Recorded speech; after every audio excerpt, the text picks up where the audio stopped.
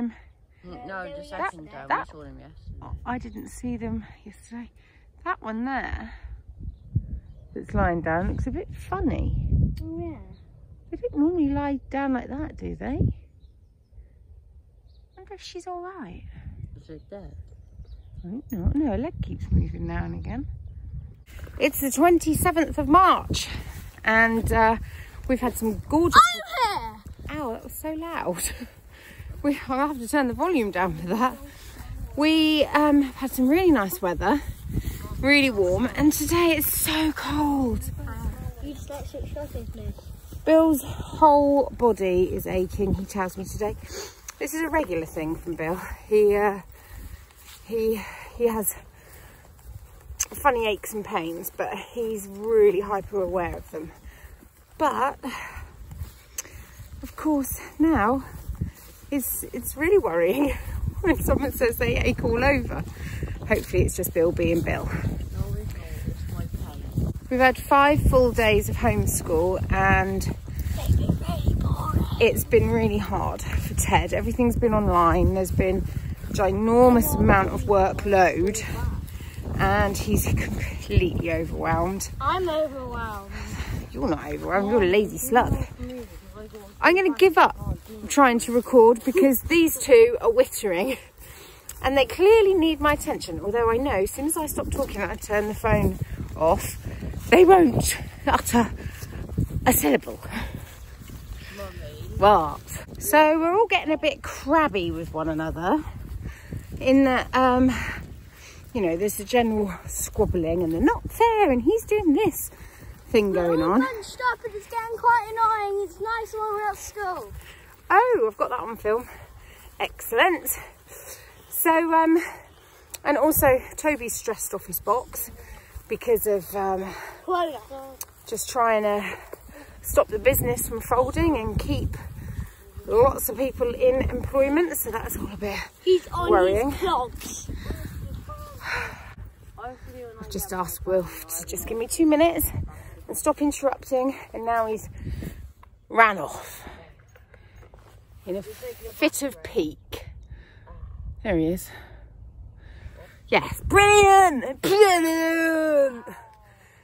Yes, I said to Toby this morning, love, when you get your chocolate out the fridge and you break it, it's going everywhere. There's chocolate all over the utility room worktop and all inside the fridge.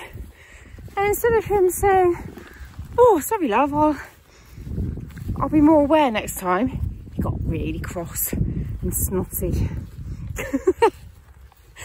I think we're all going to kill each other. of course, now I'm feeling guilty that I said to Wilf, just give, give me a second. I've been chatting now for 51 seconds. He could have given me that, but no, he's ran off. Ran off crying. And now I feel like a total heel. Grr. We're very wonky here, but that's because my tripod is broken and there's not much chance of getting a new one. I mean, I know I could order one from Amazon, but quite honestly, you're hearing all sorts of things about this virus being able to live for such a long time on metal and plastic and what have you that I just don't really want anything coming to the house that's not necessary. Good timing, Bunny. Good timing, Bunny. Good timing. Good timing with your toy. Yeah. She's so cute. You're so cute. She's so cute, look. Little dog. Um, the state of me. I look so tired. Hello, but oh no, not Bunny. You're Margot. I was just cleaning Margot's eyes and um, she's got a sore on her eye. Your poor thing. Keep an eye on that. Boom, boom. Right, I... Ow. Ow, baby, ow. Oh, just had an alert come up on my phone. Prime Minister Boris Johnson tests positive for corona, I think it said. Oh. Right, Margot, you have to stop this. You can go up there, darling. You go there, you go there. That's enough. I just wanted to do a quick mini pod. Uh, we're back from our walk. The kids are watching a uh, educational program for half an hour. So I thought I'd take this opportunity while it was quite peaceful. Toby is on the phone at the moment in the other room, but he's not shouting. Normally he's quite loud on the phone. So here we are. Okay, number one, I wanted to talk about the test knit hat that I've been showing on my stories on Instagram. It's the Alta hat by Emily Yarnbrary. It's named after her great aunt. And I did have a pom-pom on this, but because it's quite a slouchy hat and the pom-pom was quite heavy, it was not a great marriage. So I've taken the pom-pom off. It's got this gorgeous picot edge here. It's got one of these sewn brim jobbies. Then some extremely beautiful and effective but really easy lace. And then there's these lines that go up. And yeah, of course, I messed it up. Look, messed it up there.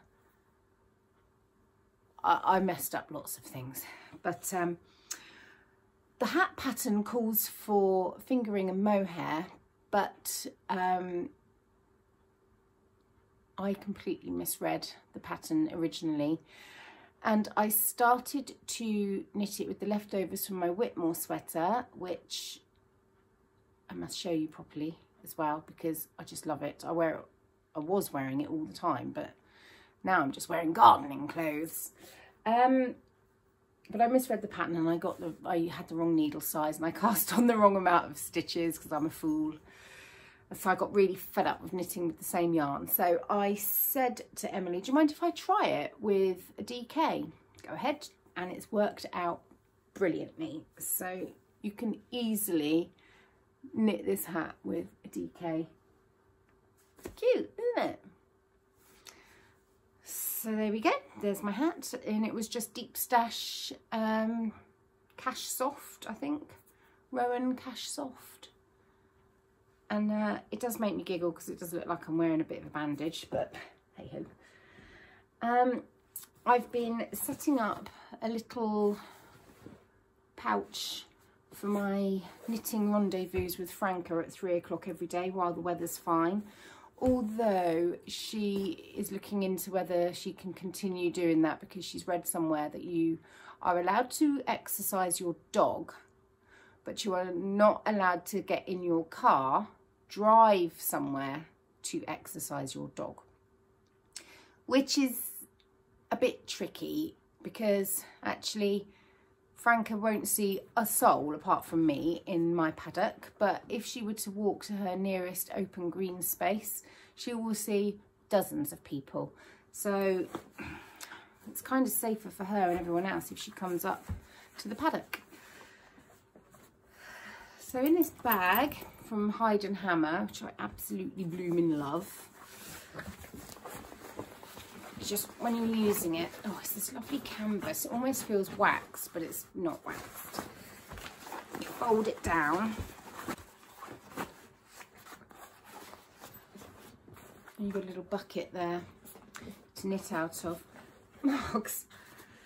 So in there, I've got some, um, hey bunny, I've got some of this, which is West Yorkshire Spinners Fleece, something or another um, can't remember what it's called. It's basically 100% sheepy wool. My friend Julie, for my Christmas present, birthday present last year, stop whacking the tripod with your tail, made me a beautiful scarf that I wear all the time. So I went and got some more wool so that I could make some accessories to go with it. So we've got, oh, Bun, you're not making it easy for me. Go away. So I've made a hat. I've made one of these simple berets before in fingering weights. And um, now I've made it with this fleecy, whatever it's called, hat. It is much more beret. Would you stop it, baby?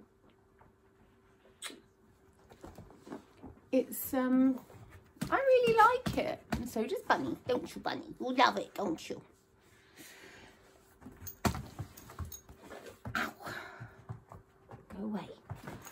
So, it's, you can see this dog. It's so funny. What are you doing? You just lay there. So now I've got a hat, I've got a scarf, and they go beautifully with the coat I wear most. And now I'm going to make some podster mitts.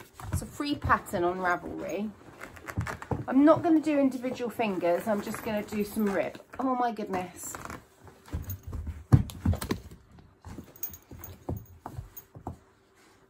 This is what I'm dealing with. Ugh. Okay, she's flattened my back. Right. oh. Now my camera's fallen out of the tripod. We will continue anyway. Look what the dogs have done. Look what they've done to me. There we go. Podster mitts. But I'm not going to do the fingers. I'm just going to do ribs. And they're convertible. Convertible ones.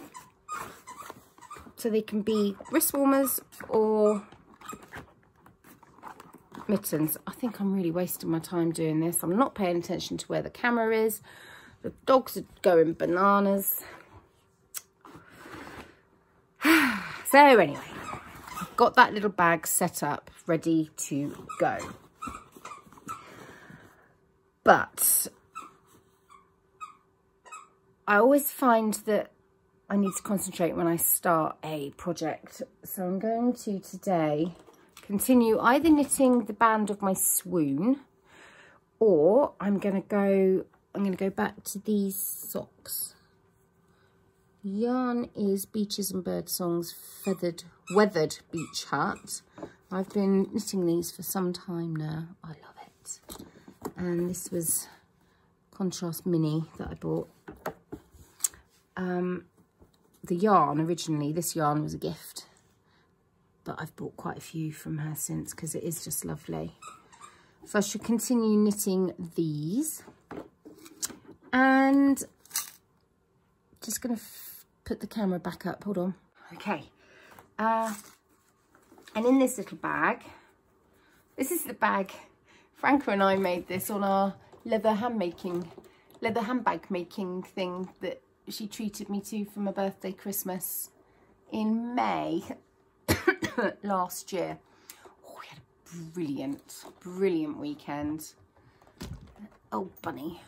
Yeah, my stitching was not the best, but it's cool, isn't it? I am hoping that it will weather in a really attractive way. It's a very creamy pink beige kind of colour at the moment and I'm hoping that when it weathers, it will weather nicely. I've got a feeling it's just might end up a bit grubby, but you know, you've got to use these things, haven't you? So, um, just want to quickly talk about these socks because I want to wear them. This is the Soul Sisters pattern by Amy Loudon and Jules Hill, my chums. There we go, that's the old shale pattern. Actually can't see it particularly well on camera. Um, it's got a Godet heel, really the easiest heel ever to knit. I should put these on my feet really. I'll show you them when they are on my feet at some point. I'm not doing it now. Now the yarn was yarn that I dyed myself. I got it from in, in a kit from Rosie's Moments on Etsy, and she only lives down the road in um, Winscombe, I think, is not not very far from here. And I dyed it with Kool-Aid and I dyed it pink, and then I knitted the Pebble Beach shawl. And I did look at that dog. and I didn't like the pink. So I podcasted about it and Amy got in touch and said, Gainer, I'll over dye it for you. Maybe a charcoal grey or a navy, what do you fancy? And I said, I'll go for a navy. So she dyed it, she sent it back to me and it looked so beautiful. And yet I still wasn't wearing it. I did not like the shape of the shawl on me. I think I'd done it wrong somehow and it was just not hanging nicely at all. So I wasn't wearing it and then one day I thought, right, unravel it. So I unravelled it. My friend Naomi and I, we were at um, Yeo Valley Canteen together and we just started unravelling it. it felt so rebellious. And I loved how the, look at that, yarn head, yarn head. I love how with the unravelling, the way it highlights how some parts of the, come on, some parts are dyed and some parts were protected by the stitches being close together. So it's got this lovely mild effect. I really like it. So it felt right that I should knit a sock pattern that Amy was involved in. Look at that. Just love it. I wanted to tell you about those so that I could wear them. Something I've noticed when I wear my wellies and I go on a walk or I'm digging in the garden is that if I wear socks with stellina in them, they really rub my feet and they really make my feet sweaty. Does anybody else find that? So I don't think I'll be knitting socks with stellina in anymore. That's okay because my tastes have changed. I'm, I'm not so bothered about sparkly stellina stuff now because it's not part of my taste. And also it's not very eco is it? Because it's plastic. Right I'm going now because I've waffled for ages. I think that would be me done for the bunny come here come here come here Right, that's me done for today's vlog. I think we've had enough rambling from me. And um, I'll be back tomorrow. Such a special girl.